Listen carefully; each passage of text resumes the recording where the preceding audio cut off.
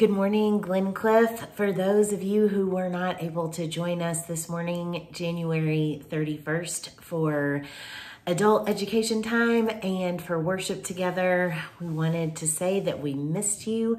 We know that you are out there. We called your name. We're saying um, prayers for you, holding space for you and just wanted to share some of our prayer time and our scripture with you this morning.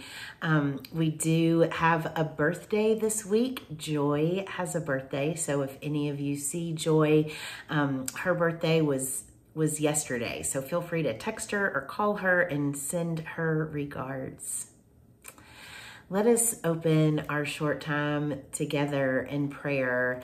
This prayer comes from a man named um, Jim Cotter, and it is um, from a book that he has called Prayer at Night. Um, so receive this prayer and calling God into this space with us. Let us pray. God, be in my head and in my understanding God, be in my eyes and in my looking. God, be in my mouth and in my speaking. God, be in my tongue and in my tasting. God, be in my lips and in my greeting. God, be in my nose and in my smelling and inhaling. God, be in my ears and in my hearing. God be in my neck and in my humbling.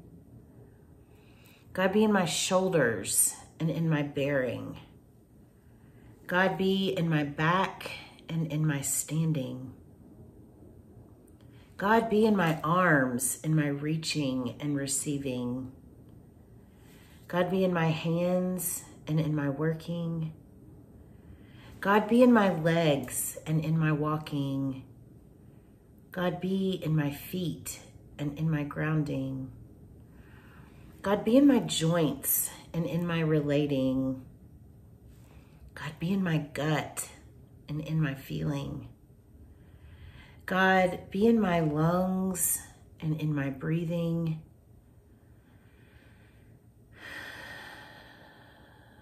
God, be in my heart and in my loving.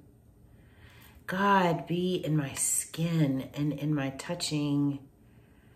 God, be in my flesh and in my painting. God, be in my blood and in my living. God, be in my bones and in my dying. God, be at my end and at my reviving. Amen. What a gift to know that God is in in all these things, traveling with us every day. This was the, the prayer that we shared this morning together.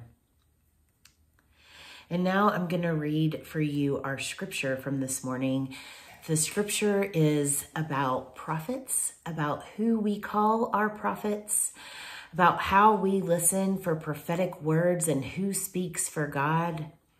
The scripture this morning is Deuteronomy chapter 18, verses 5 through 20. And as I read this, I just want you to think about what injustice looks like in your life or how you see injustice playing out in our lives and in our world what are the words that jump out to you during this scripture? Feel free to rewind it and play it again. Sometimes we need to hear the scripture twice. So hear these words from Deuteronomy chapter 18, verses 15 through 20. The Lord your God will raise up for you a prophet like me from among your own people. You shall heed such a prophet you shall listen to them.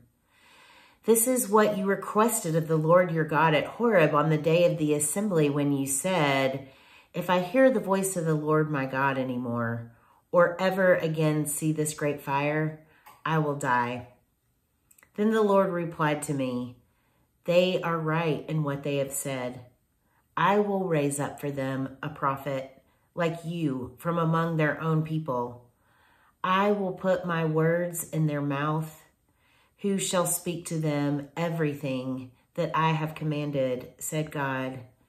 Anyone who does not heed the words that that prophet shall speak in my name, I myself will hold accountable. But any prophet who speaks in the name of the other gods, or who presumes to speak in my name a word that I have not commanded that the prophet speak, shall surely die. This is the word of God for the people of God. Thanks be to God. Some of the questions that we talked about this morning were about the injustices that we are seeing in our world right now. We talked a little bit about the prophets, who our prophets are in our lives, ways that prophetic speak speech and action can be risky, and what are those costs for prophets? How do we support our prophets? And how can we be prophetic in our words and in our actions? Some of the words that we read from Deuteronomy are containing the stories um, that God is amongst the people and how God would order the life and community of the people to help them live together well.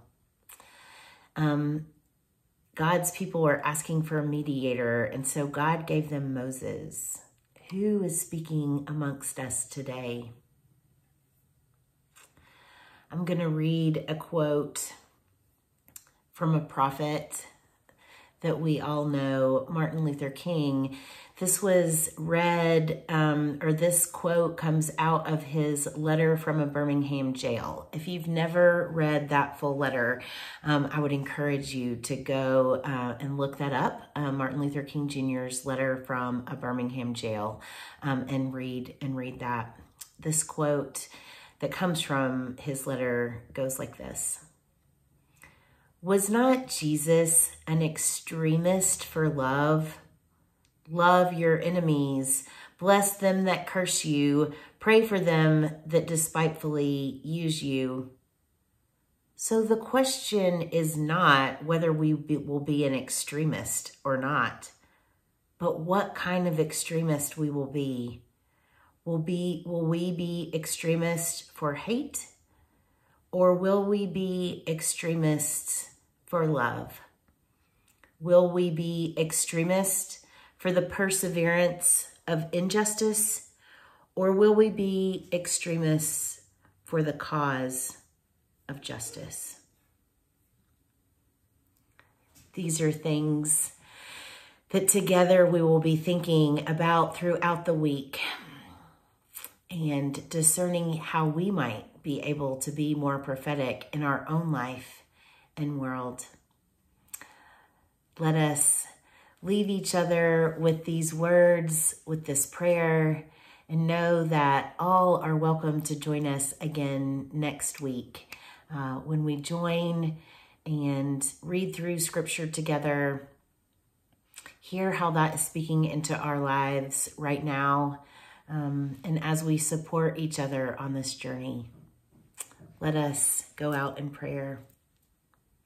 Disturb us, O Lord, when we are too well pleased with ourselves, when our dreams have come too true because we dreamed too little, because we sailed too close to the shore. Disturb us, O Lord, when the abundance of things we possess, we have lost our thirst for the water of life when having fallen in love with time, we have ceased to dream of eternity and in our efforts to build a new earth. We have allowed our vision of heaven to grow dim. Stir us, O Lord. to dare more boldly to venture into wider seas where storms show thy mastery. We're losing sight of land, we shall find the stars. In the name of the God who pushed back the, the horizons of our hopes and invited the brave to follow. Amen. That was a prayer written by one of our modern day prophets, um, Bishop Desmond Tutu. You all, you are loved. Go in peace.